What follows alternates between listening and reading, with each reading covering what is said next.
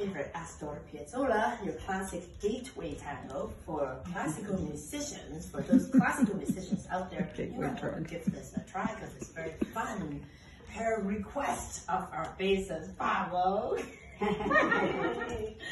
we play this so that Pablo can play this with us. The bass, I know Pablo doesn't say much, is the foundation of the tango.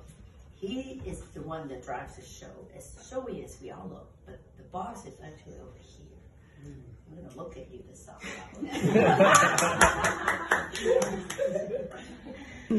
No, but, but, but it's true that nobody noticed if the bass player is playing good, and it's really important. That's good. Uh, but it's important, really important. but and, and as well, you, you, you notice that usually, except the exception of the milonga that we had uh, before, the, the tango is a popular music that doesn't have percussion. Percussion. It's, uh, and because of that, it's really important all the rhythmic resources that we do, before the four of us. Yeah.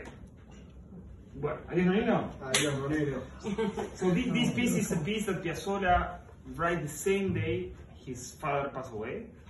So it's a really dramatic and well, have a lot of anger and sadness inside, but it's a, an amazing and beauty piece of